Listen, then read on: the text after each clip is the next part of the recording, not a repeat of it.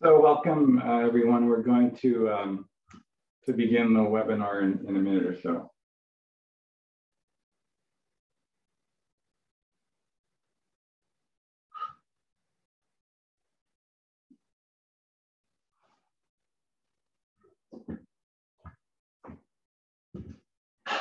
All right, so I think I can I can start. So hello and uh, and welcome to the uh, Building Envelope Campaign uh, webinar series.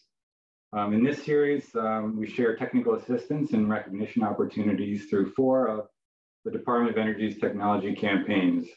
Uh, the Building Envelope Campaign, uh, the Efficient and Healthy Schools Campaign, the Integrated Lighting Campaign, and the upcoming uh, Storm uh, Window and Insulating Panel Campaign.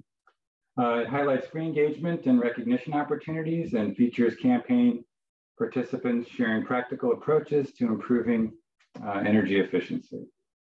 Uh, so before uh, we get started, uh, there are just a few uh, housekeeping points I'd like to share.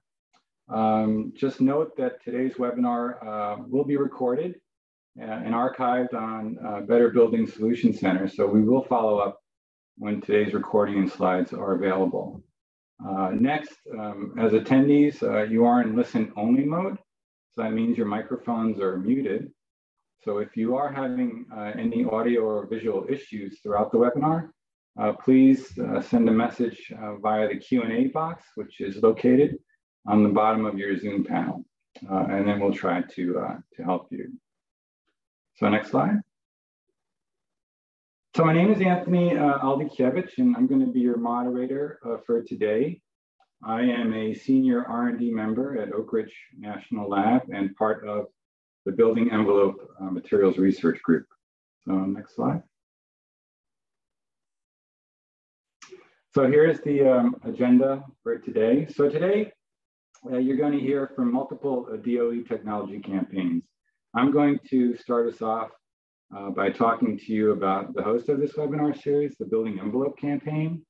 Uh, and then you will hear from the Integrated Lighting Campaign, and then we'll end with the Efficient and Healthy Schools Campaign before we close for a brief Q&A uh, session. So um, if we go to the next slide. Um, so the Building Envelope Campaign. Uh, next slide. Uh, so before I, I, continue, what I, I want to do is recognize the organiz organizers rather of our campaign.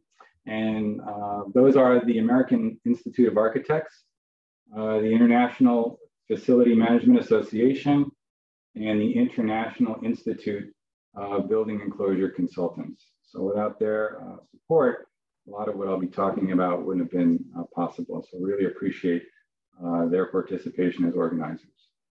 So the next slide, please. So how to assess for overall uh, building envelope performance? Uh, that's the challenge that we face. So unlike uh, energy loads from equipment and lighting, directly measuring overall uh, performance of the building envelope um, is impossible. Um, we can measure air leakage, uh, but we can't directly measure thermal performance considering all the other elements that make up the envelope. So to simplify things um, a bit, what we did was develop a metric or measure uh, that accounts for the performance of the envelope holistically. So accounting for the walls, the roof, uh, fenestrations, air leakage, uh, and external loads, uh, which are dependent on climate. So next slide. So as a result, what we did was we developed uh, the building envelope performance or BEP metric. And in this case, you know, the heating and cooling loads are equivalent to the building envelope energy loads plus uh, any internal loads. So like whole building energy calculations, uh, the building envelope performance metric has units of kBTUs per square foot. The difference is that it's based on the surface area of the building envelope, not the area of conditioned floor space. And what's neat about, about this approach is that all the user needs to know is location, building type, wall area, window area, the air leakage, uh, if they can measure it, uh, and the value, the insulation value of the opaque uh, portions of the wall. So next slide. So having developed this approach, really the goal for us was now to get, get it in the hands of practitioners. So hence the genesis of the Building Envelope campaign. Under the auspices of the, of the Better Buildings Technology campaign, the Building Envelope campaign was launched. So the intent was simple, and that's really to help practitioners design more energy efficient buildings by introducing a new assessment tool uh, that's easy to use compared to whole building energy calculations. And what this does is provide users a simple, quick, and quick way to easily assess different building envelope options. It also gives users guidance with respect to what part of the envelope has the biggest impact uh, on performance. So the building envelope campaign provides targeted guidance with respect to what part of the envelope would benefit from most energy improvements, such as additional insulation, you know, more thermally resistant windows, uh, and or reduced air, air leakage. Um, in addition, what the Building Envelope campaign provides or points users to are resources that are meant to help with respect to design, you know, via material systems and, and case studies. Next slide. So our, our goals are, are simple, and that's uh, to motivate action and increase awareness, uh, recognize uh, those uh, leaders in uh, building envelope design, and demonstrate and, and document uh, performance. So really, it's to help folks realize the benefits of investing in building envelope performance improvements, whether new construction or retrofits, um, to recognize those that are leading the effort to design, uh, more energy efficient, sustainable uh, buildings, and to communicate those benefits by quantifying uh, energy and, and, cost savings that results from design construction, uh, commissioning, and maintenance, uh, maintenance rather, of high performing uh, building envelope systems. So next slide. So how do we get there? so there are a couple of ways to benefit uh, from the, the, Building Envelope campaign, and that's uh, as a supporter or as a participant. As a supporter, uh, you'll have uh, access to the people and resources uh, that make up the, the, Building Envelope campaign. Uh, you can partner with team members to help promote benefits of, of the campaign. And in addition, you know, you'll, there's recognition as a supporter um, as well as access to other supporters and participants uh, of the campaign. So those would be the benefits of a supporter. Participants, they're the ones that are actually using the tool uh, in, in their projects. Um, so as a participant, you'll have access to the technical export experts resources, uh, and lastly, the recognition uh, piece. So as far as technical experts and resources, you know, we're here available to you to provide you guidance in, in helping you select um, or design your building envelope system. Um, the recognition part, uh, that comes in the form of awards and or uh, participation in case studies. And, and just a, a, quick note, this last bullet here, um, I wanted to let folks know that um, if, if there's a project that's been completed since January of 2019, um, and that you feel the improvements made are worth recognition, uh, you can register and submit your, your project to the campaign. Uh, so it's not late, too late to, to do that. Um, so let's now just, oh, next slide, please. So let's talk a little bit about uh, recognition uh, for the campaign.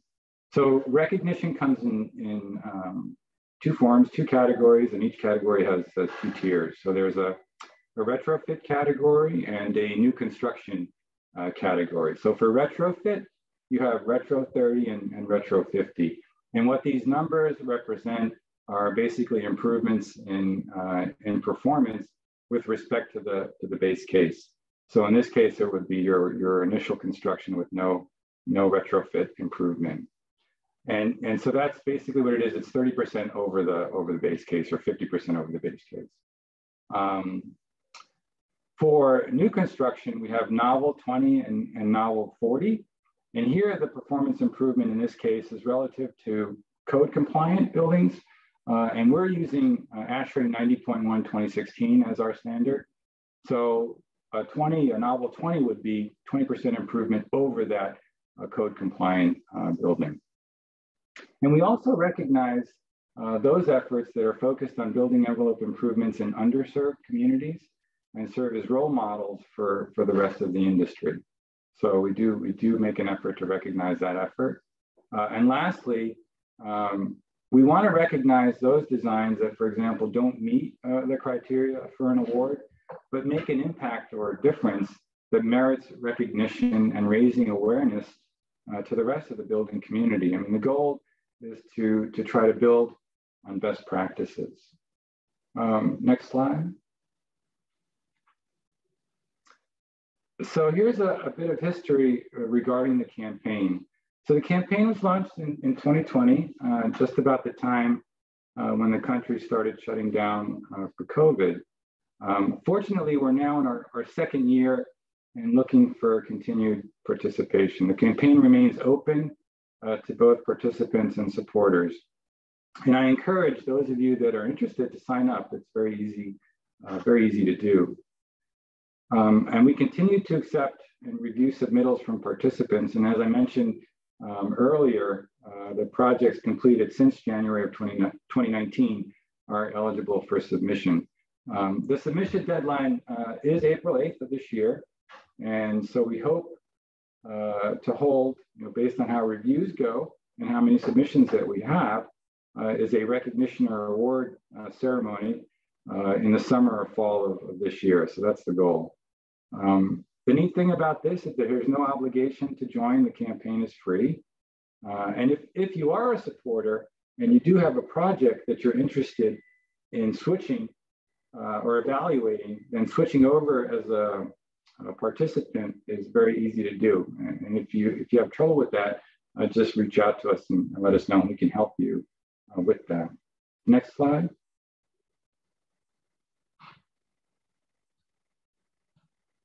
So um, now what I want to do is, is just let you know how we did in the first year.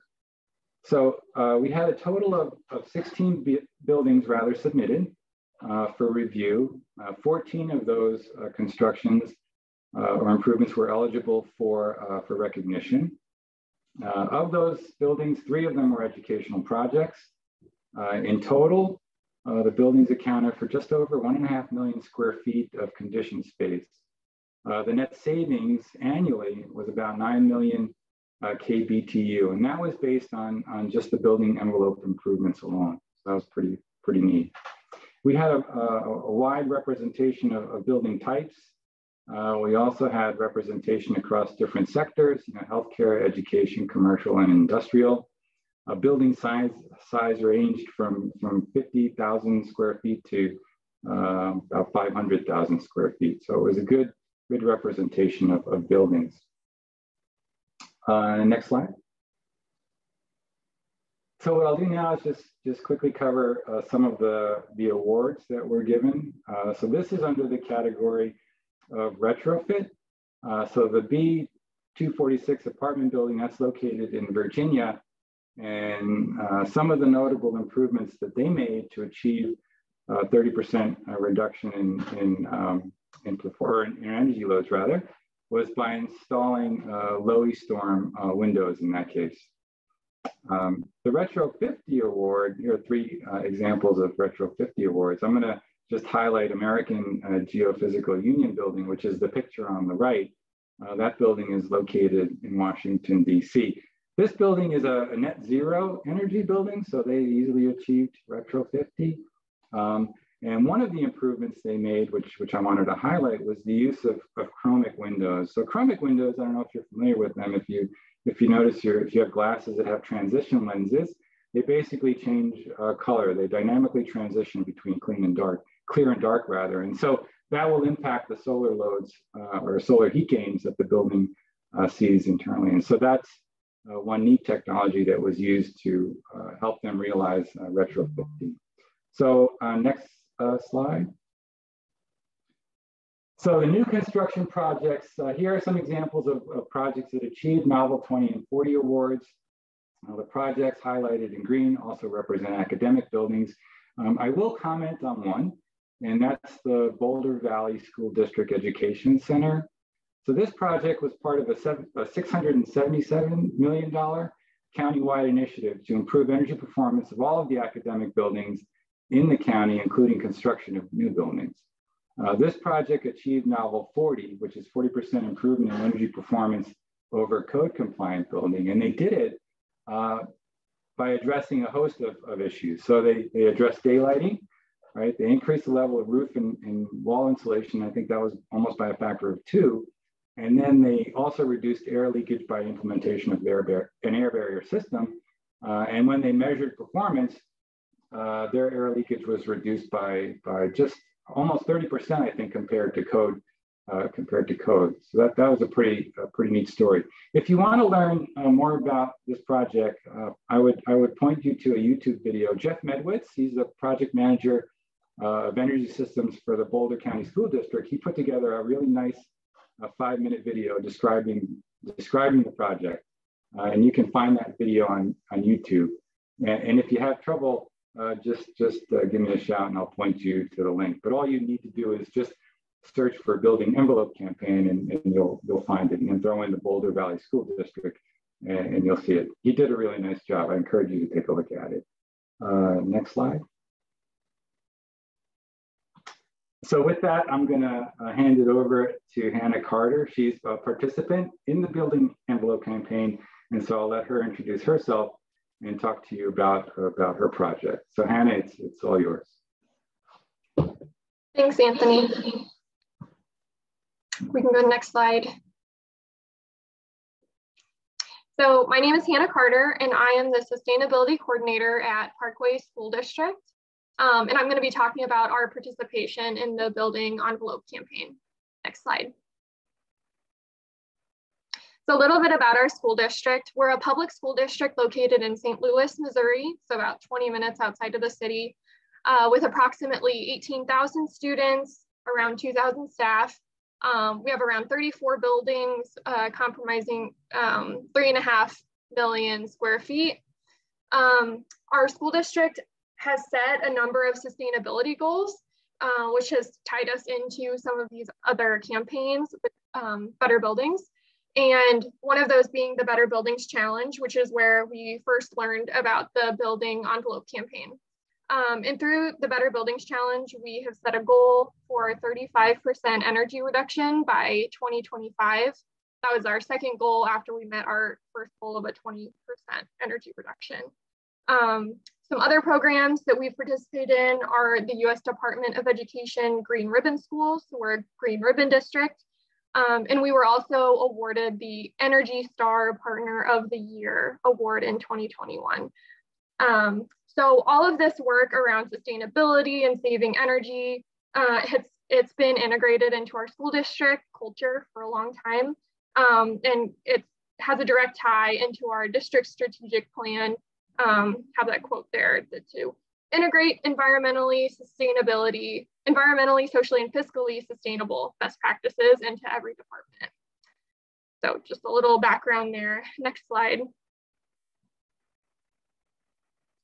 So more into our strategies around energy savings as a school district. Um, we have created sustainability and energy related board policies and administrative procedures to help guide our work through the district and solidify it long term.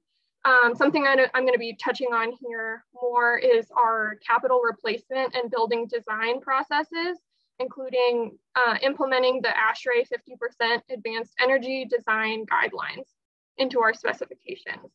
Um, we do a lot of retrofits, so everything from lighting, envelope, um, water savings, because we don't build a lot of new buildings. So for the most part, we're just looking to retrofit our older existing buildings that we do have. We've implemented a lot of energy savings strategies into our purchasing policies. So Energy Star equipment, um, trying not to buy one for one equipment, getting something that is more energy efficient if possible every time that we're moving forward and purchasing. Uh, we do a lot of behavior change campaigns with students and staff um, competitions throughout the school district, staff trainings, professional development, um, teaching students about our energy systems that we have, whether that's our renewable energy, solar arrays, our geothermal heat pump systems, all that, so that they can really get that sense of uh, how are we how are we making a difference every day and how can they get involved in it in real world applications um, and then part of my role is heavy on the monitoring and analysis side so using our building automation system to monitor our hvac systems um, same thing with our fault detection software really trying to optimize and fine tune where we can um, and then benchmarking all of our utility data and doing retro commissioning projects on our buildings um, as we can. Next slide. So more about how we joined the Building Envelope campaign. As I said, we learned about the Building Envelope campaign through the Better Buildings Summit last year. Um, and being partners with that, we knew that Better Buildings campaigns are great and a great source of resources. Um, and so when we learned about the different information needed to go into the building envelope campaign, I immediately thought about our, our specs that we've integrated the ASHRAE 50% advanced energy design guidelines, into our master district specifications. And every summer, we typically have at least one school that needs a new roof, half a new roof, whatever the portion is. Um, and through those specifications, all of our roof replacements have been going to um, our 30 roof from the existing R8. So a substantial improvement to the insulative value of our roofs. Um, and so this data we've been collecting, uh, it was easy for us to collect this data because we were already submitting it for utility rebates, which I would encourage if you're participating in the building envelope campaign, you can probably show your energy savings to your utility and potentially get some rebates there if you have a similar program in your area. Um, so all this data was handy um, for that reason. Off to the right, there's kind of a screenshot of this, the uh, ASHRAE Advanced Energy Design Guidelines that I keep talking about. We also um, strive towards their net zero energy guidelines when possible. Um, and down on the bottom right is a photo of one of our elementary schools that this upcoming year, we hope to also include in the building envelope campaign. This is a school with a lot of solar, but they're getting a lot of new roofing as well. Um, and then just kind of showing in the bottom, the that's the screenshot from the ASHRAE Advanced Energy Design Guidelines recommending um, R30 roofing insulative value. Next slide. So some of the reasons that we decided to join the campaign um, are the wide array of benefits to participants. So first off, being recognized for this work, it allows us to do more of the work. Um, so when we get recognized for this, we gain a lot of support internally from our administration, our Board of Education, and even our community that votes for our bond issues that we pass that help fund these projects and keep uh, more energy efficiency projects rolling. It also allows us to um, share our story with other schools locally and nationally and get more people on board. Um, and it is, it'll be great to be able to create a fact sheet and a video with uh, Anthony and his team to promote and share our projects. Um, another big benefit to participating in the Building Envelope campaign are that when you're making improvements to your building envelope, you're doing a lot of energy reductions like we talked about. Um, but including in that, you're often improving your indoor air quality um, and improving occupant comfort, which for schools all the time, but especially right now is super important. Um, we've also found that when we're coupling our roof replacements with more insulative um, energy efficient roofing, we're often able to downsize our HVAC equipment because our thermal load has been reduced by the extra insulation. Um, more cost savings are that by showing these energy savings, we're often able to get utility rebates. Um, so for the three projects that we submitted this year, uh, we expect to get $16,000 back in utility rebates alone. Um, and then we use these rebates to then do more energy efficiency projects kind of in a revolving fund. Um, more reasons to, to participate are just the support from the team um, and the easy to use tools in this program. So the tools, once you have the data to plug into the tools about your building, I think it took me maybe 10 minutes to get the screenshot you kind of see below the percent improvement um, on one of our buildings. So super easy to use. Um, and then anytime you have questions, the team is very supportive and can help give you suggestions on more ways to improve um, and any data that you need. So that's all I had. Next slide.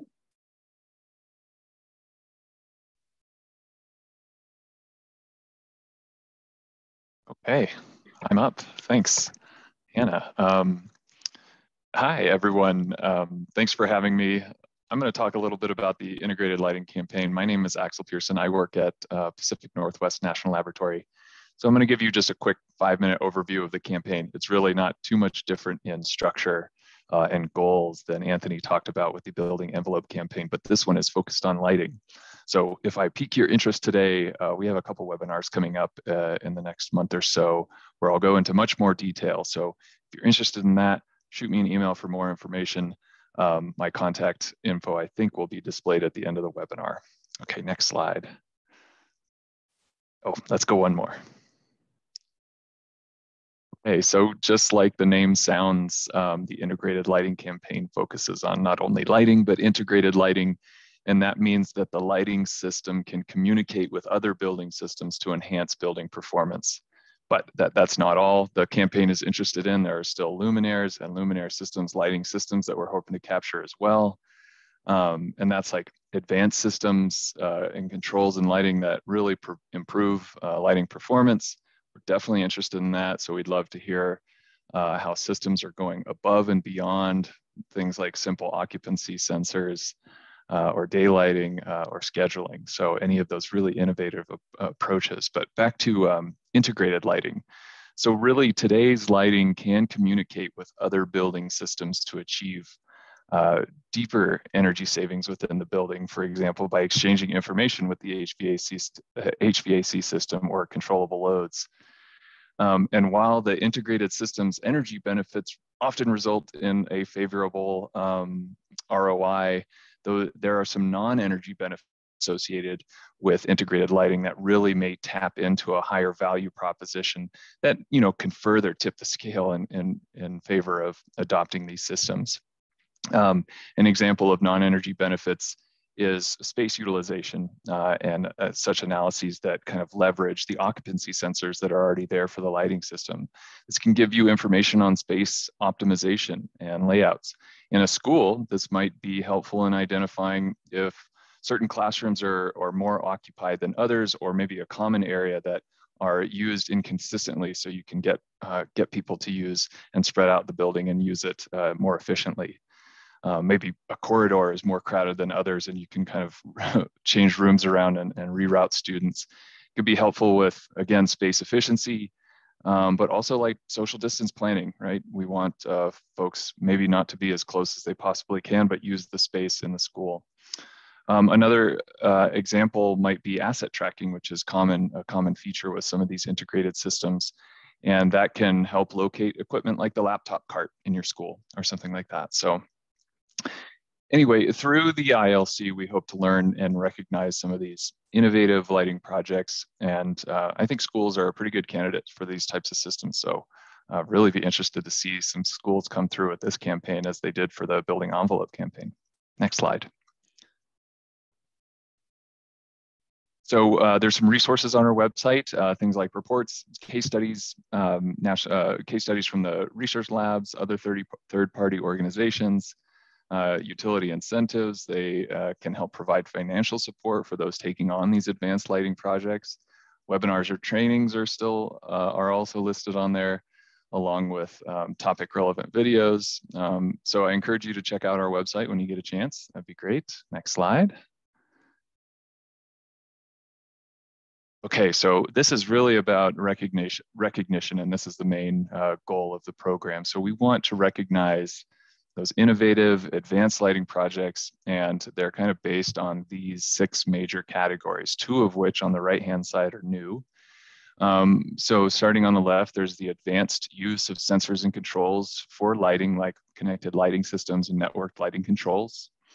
Then there's um, integrated controls for plug loads and HVAC with those lighting systems. And that's kind of what I was talking about a little bit where lighting systems helps uh, systems help inform those other bu uh, building systems.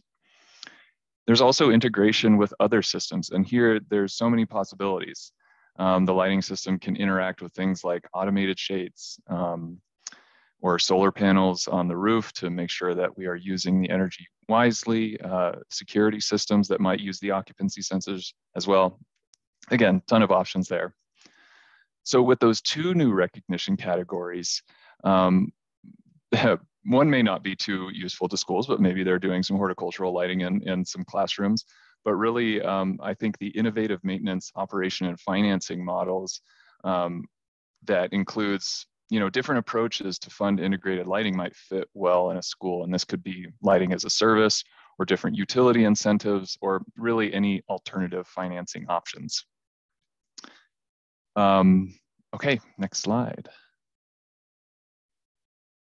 Right, so if you know of a project or know someone that might be interested in being recognized by DOE, this is the form you would fill out. Basically tell your story of the project, how it fits into the recognition categories, and then you provide some supporting data, um, such as building, the number of buildings impacted, energy savings, incentives, that type of thing. Okay, last slide is the next one. So here's the timeline for this year, but really what happens beyond recognition is where the campaign really seeks to add value. We really uh, try to create a body of knowledge from the recognized projects. Um, some basic information about each project and its benefits is shared during recognition, but really more in-depth case studies are planned for development um, for some of those recognized projects. We've just published a couple on our website. Also newsletter articles uh, as a way we can communicate about these projects throughout the year. So really, again, creating that body, body of knowledge and recognizing cool installations of lighting. Okay, that's my last slide. Uh, thank you for having me again. Well, thank you, Axel. So I'm next. I'm a research scientist uh, from Berkeley Lab in California. Um, I've been in the lab for about 10 years. My background is in indoor air quality building ventilation, and studying the impacts to energy and human health. Next. And today I'm joined by um, two guests. One is a campaign participant, the Charleston County School District in South Carolina, represented by Ron Kramps, who is the Executive Director of Facility Management. And I have a second guest today. Uh, he is a campaign supporter whole building system represented by Dennis Knight, who is the principal and CEO. And you may also know Dennis from his role at ASHRAE. And Ron and Dennis are going to share with you some projects and their on-the-ground experiences that showcase the type of success story that we want to amplify in our campaign. Next. So you want to start by giving you an overview of the campaign. It's a little different. You, you heard about two uh, technology focused campaign. This one is focused on a type of building, schools. Uh, and I'm the campaign lead, and I wanted to give you um, some, uh, share with you the recognition category. So give you really a sense of our core objectives. And then I'll hand the mic over to Ron and Dennis. Next. So the Efficient and Healthy School campaigns aim to engage K-12 schools to improve energy performance and indoor air quality. And we recognize that these there is an immense needs to address both through HVAC and other facility improvements. This is a campaign led by the US Department of Energy uh, with Berkeley Lab assisting, but we're unique in that we have two other agencies involved, the Department of Education and US EPA. Uh, we're working together because we realize that there's a lot of existing relationship these agencies have built with schools and want to build upon that and align our objectives. Um, for example, I'm, you know, Parkway Schools mentioned that they are also uh, taking role in the Green Ribbon School that's run by the Department of Education. And for US EPA, there's a long program called the IAQ Tools for Schools. Um, and our campaign is working with that program so that we are aligned. Next. So our campaign um, is just starting. It's sort of like a kindergartner in the very first step of the journey. And I have a first grader and a preschooler at home. So I kind of really relate to this feeling of starting a journey together. Uh, we launched in August 2021. And currently we have 23 districts representing about 700 schools that have joined us. The campaign is providing technical assistance and resources on best practice and guidance we welcome all schools, K-12 schools to join us. And in our outreach, we really try to prioritize schools that are serving low income and underserved communities, and also in, the, in those rural, more remote areas that are harder to reach.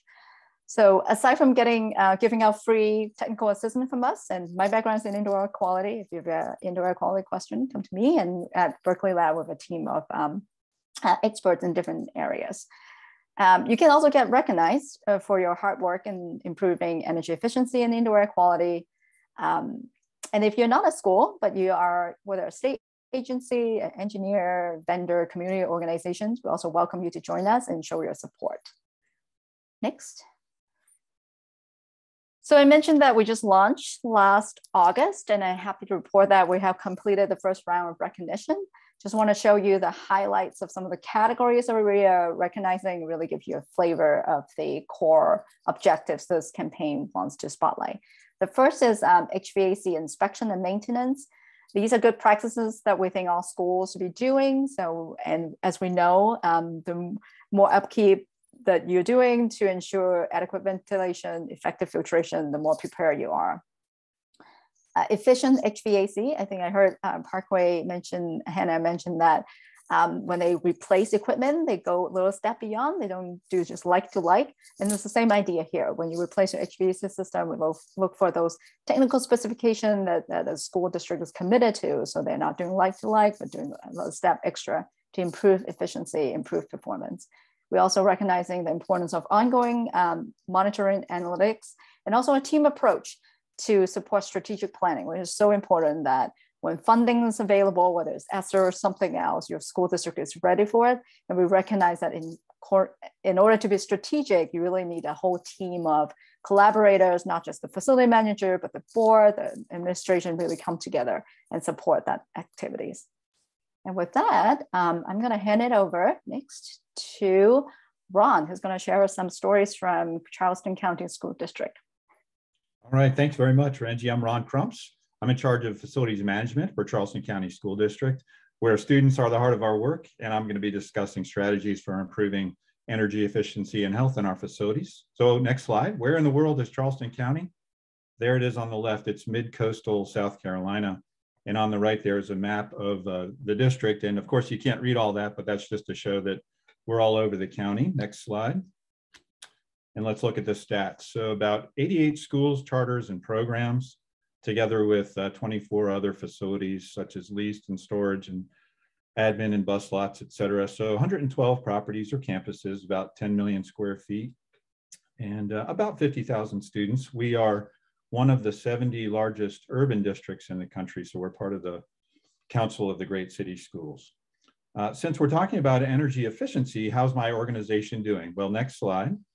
So here's our EUI tracker. Back in 2000, the state established a goal of a 1% reduction in energy use intensity per year in all the school districts. So you see our baseline was about 50, and there's the, the yellow line is the goal of 1% reduction, and we've achieved about 1.5. So we've done really well in uh, reducing energy use intensity across the district. Next slide, please. Now, if there were just one topic that I could discuss, it would be this one. It would be facility asset management as a mindset, because without a clear sense of ownership of facilities, they'll, they'll not be properly managed. If you see a facility that isn't properly managed or a system that's not properly managed, it's probably because no one is taking ownership. You've got to designate asset managers of all your facilities and your systems. In, in my case, that's about 14 men and women who are asset managers of the various systems that I manage, such as HVAC, restrooms, playgrounds, et cetera. And I expect all those individuals to understand the, the list of assets, the systems that they're managing, the condition, the maintenance requirements, the cost to maintain. Uh, they control the design specs for those items for new construction even. And they each give me an annual status of assets presentation, me and my boss and the other leadership of uh, my organization. And, and that's been very powerful. It's a very powerful concept, I think. And again, without a clear sense of ownership, facilities will not be properly managed. So, but with that map, that uh, mindset, let's take a look at a strategic framework. Next slide for energy efficiency and healthy schools. So here's some big picture items that flow from this mindset and lead to success in energy efficiency and health in our facilities. And the first is a biennial condition assessment. We do an assessment. It's really continuous. We get to every school about every two years.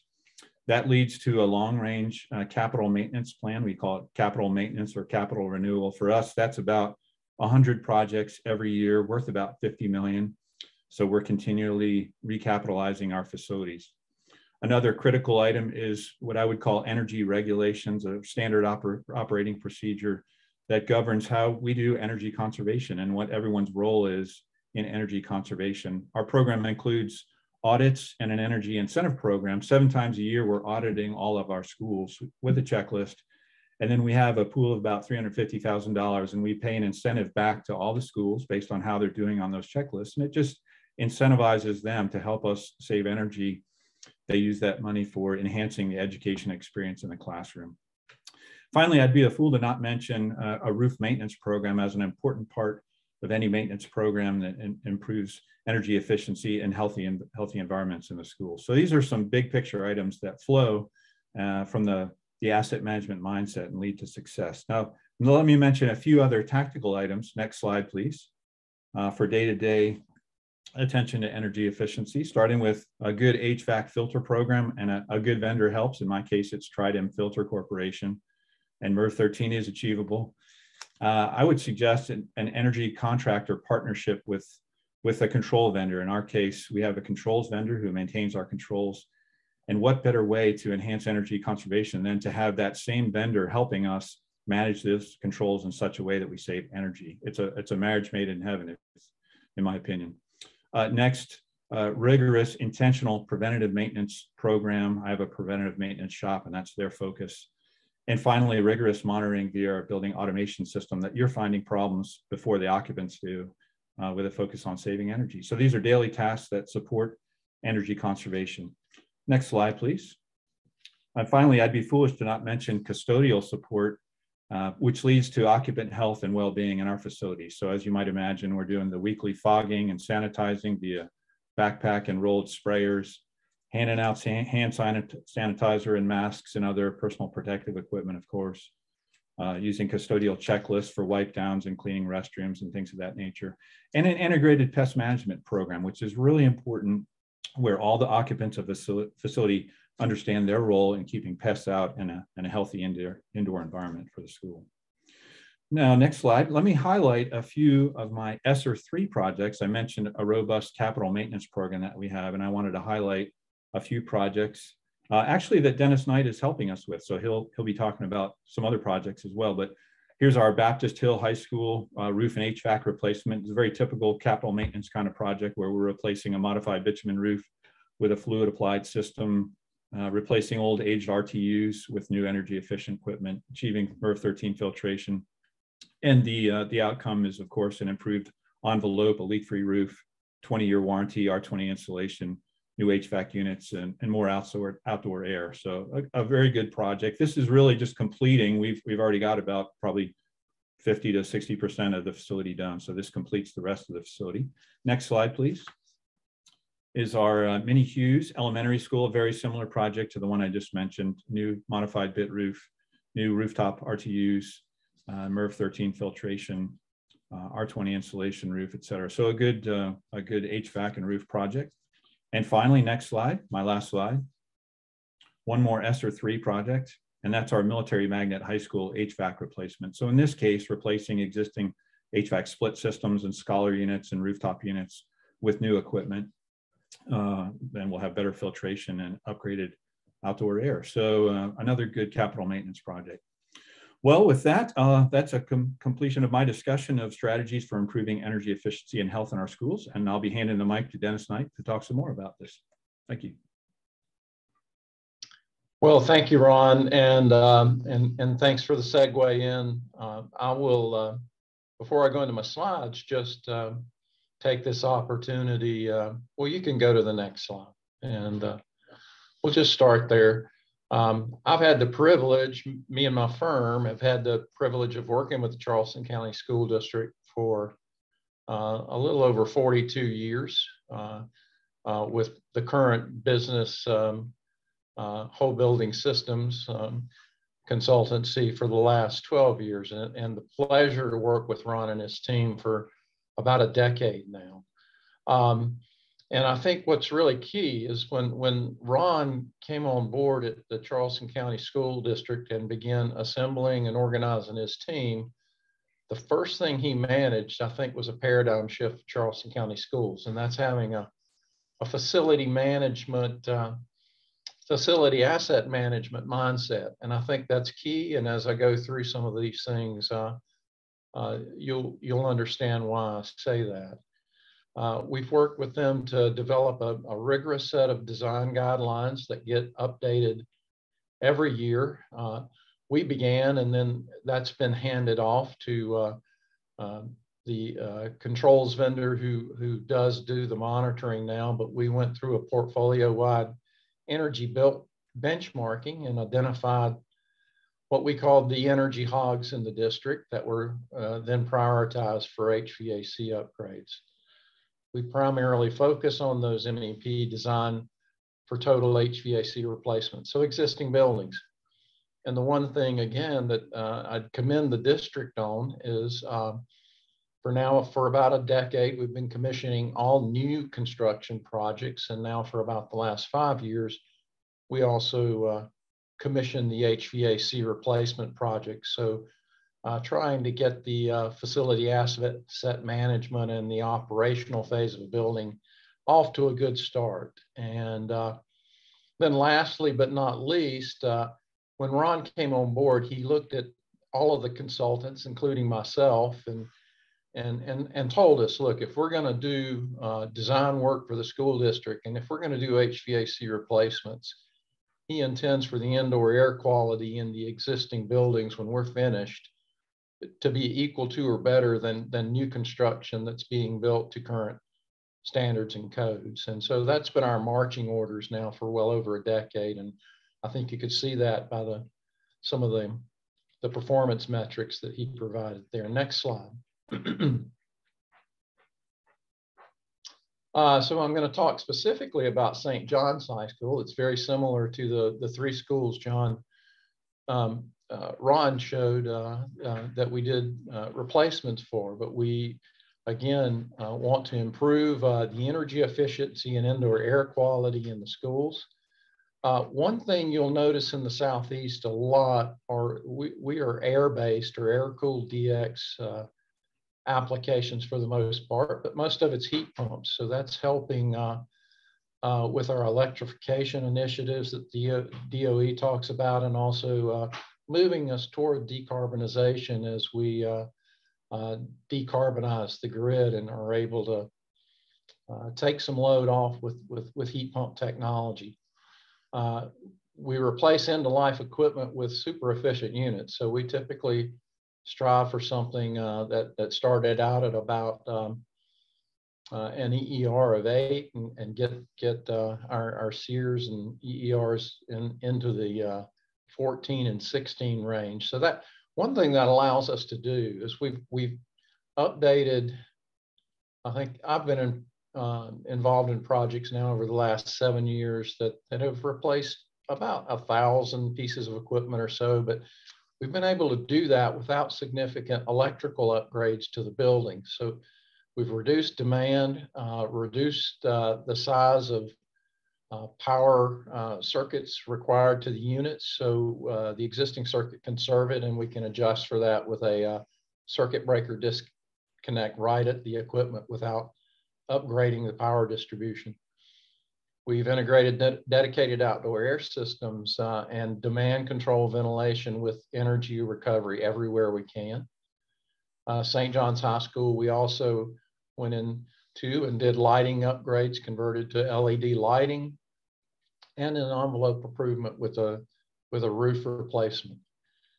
And uh, we improved IEQ conditions and, um, and um, hit a 57% energy cost savings over the baseline. And that was uh, validated uh, by third party uh, 179D uh, third party energy assessment uh, by another consultant. Next slide. so again, we've uh, made our roofs wider. We've we've cleaned up the roofs. We've uh, gotten the equipment uh, to where it's it's seismically and, and wind restrained where the old equipment was, weren't. So we've added to the sustainability and resiliency of the buildings as well. Uh, put all the equipment down on, uh, rather than go with curb adapters that sets equipment up another two or three feet above the, the roof. We replaced the curbs, one, one for seismic and wind, but also to help the maintenance staff be able to get to the equipment. And when they can get to the equipment and have access to it, it's it's easier to maintain it and, and tends to get maintained more often. Next slide.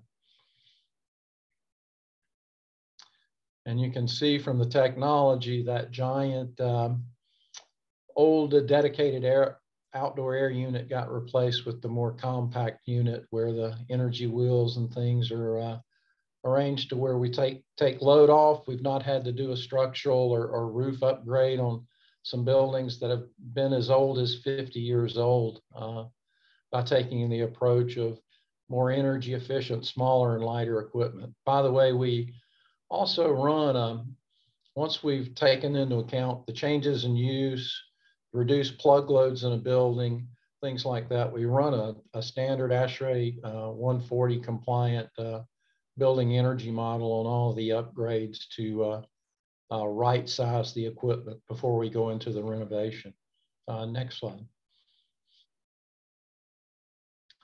So um, Rengie uh, mentioned my involvement with ASHRAE. I'm, I'm former board member and I'm, I'm here in Las Vegas actually at our winter meeting and uh, uh, will say that I was just nominated to become the, the next treasurer of ASHRAE starting in July if our ballots come in um, favorably. But uh, I have been the vice chair of ASHRAE's Epidemic Task Force uh, over the last two years.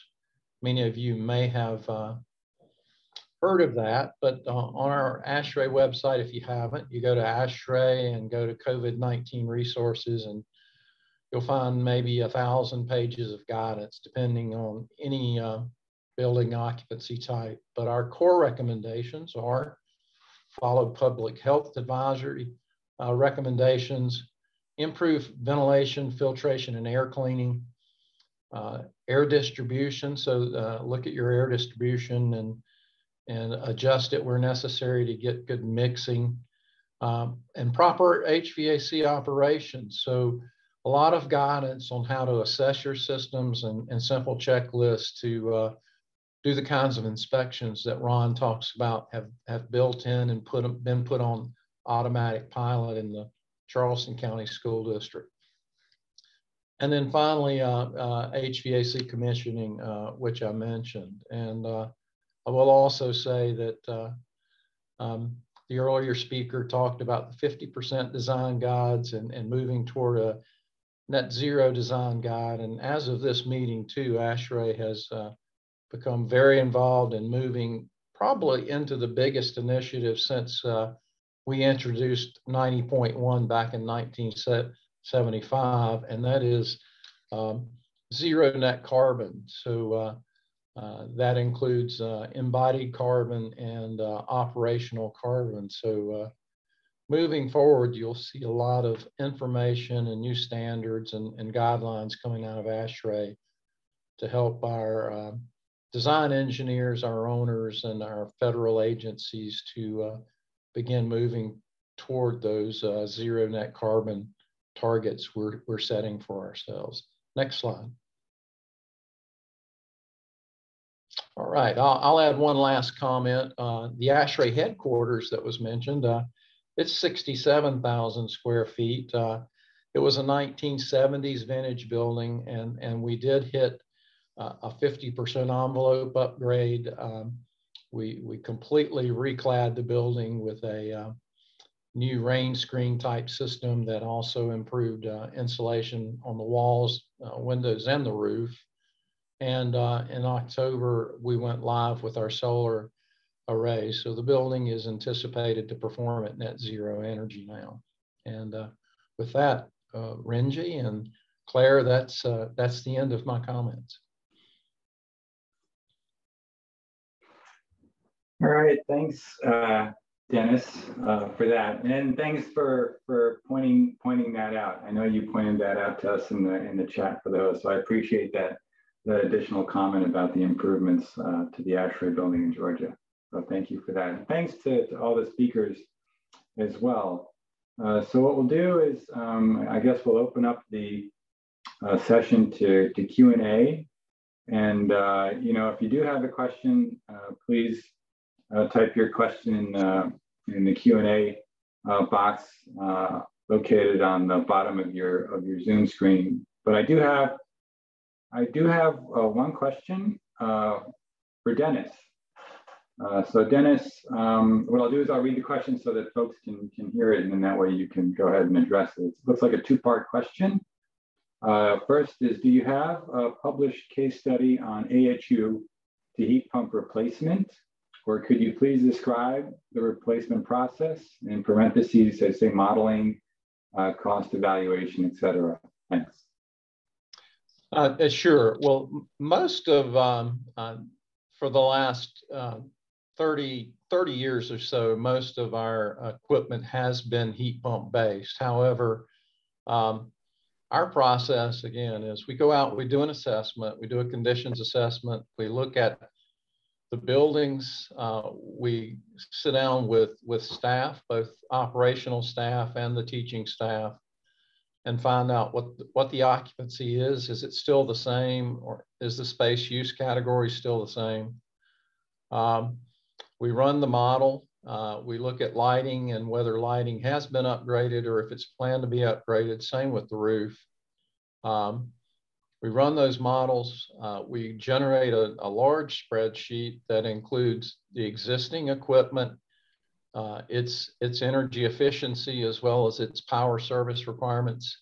Uh, we put that side by side with new proposed uh, basis of design equipment and we been, began tweaking that equi those equipment selections and with the goal of getting all of them at or below and, and normally significantly below uh, their original power requirements. So that uh, tends to cut both demand and consumption.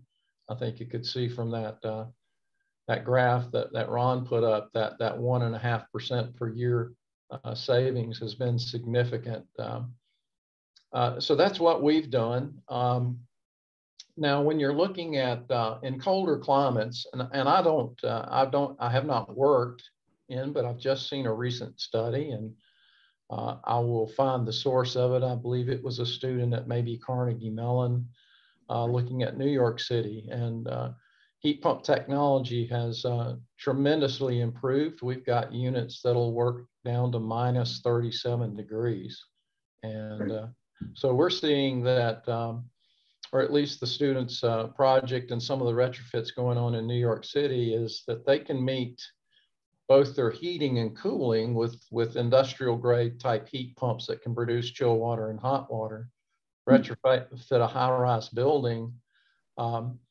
and, and even use the heat pump to meet heating requirements for uh, up to 70% of the year, and then supplement that with their existing boiler uh, systems or, or, or newer uh, gas boilers and, and at reduced load and, and get to 96% decarbonization, uh, which is tremendous uh, without having to do major infrastructure or structural changes to the facility. So I think between the ASHRAE headquarters showing what you can do with a 1974 building um, from a cost effective standpoint and, and then some of this, uh, some of the new things coming out that, that uh, uh, we can transition our, our uh, existing building stock efficiently and get to nearly zero carbon emissions uh, here within the next few years. Yeah, no, no, no, definitely agree. Okay. Well, that that was actually the only question posted. I don't know if, if uh, any of the attendees, you know, if you have any other questions, um, what I'll do is I'm just going to kind of walk through some of the the, the next slides. And if any other questions pop up before we finish, I'll, I'll raise them to the, um, to the panelists. So um, I just want to let, let uh, folks know that, uh, that today isn't the last time you'll, you'll hear from, from the Building Envelope campaign uh, and these other campaigns. Um, we hope that you'll uh, you'll join us for a second webinar in, in, in our series titled um, "How Multifamily Buildings Can Benefit uh, from DOE Technology Campaigns," um, and that will be in March on the second of March, same time as this webinar. Um, uh, next next slide. And just a comment on the Better Buildings webinar uh, series slide. Um, so if you can't wait until next month, uh, you can go out and, and check out uh, any of the webinar uh, series. Um, you can see that there are quite a few uh, presentations through April. Uh, so by all means, you know, you can visit the Better Building Solution Center and then learn more about these webinars and also how to register for them. Um, and so the, the next slide. Um, so the next uh, Better Buildings, uh, Better Plants Summit uh, will take place in May. That's May 17th through 19th. Uh, and the event uh, will feature uh, engaging and interactive sessions as well as opportunities for attendees to network with industry peers and experts. And while we are in planning an in-person event this year, we will make a final decision, I think, by the end of the month uh, as far as uh, how that's going to play out. Uh, registration will be coming soon for that. So visit the Better Building Solution Center just to, to learn more. Um, so I don't, I don't see any other questions uh, popping up. Um, so we've we've reached four o'clock, one minute after four o'clock. So with that, I just want to thank uh, all the panelists uh, for for their presentations. I thought the presentations were great. Uh, and then um, again, if anybody has any other questions, um, I think you will get, uh, you do have the contact information for all of, all of the uh, panelists uh, that presented. So feel free to reach out with any questions directly. Um, and I think with that, I just want to say thanks again to, to all the, the panelists. Uh, and thanks for those that, uh, that attended as well. Appreciate it that will conclude the session. Thanks. Bye, everybody. Thank you. Thank you, Anthony.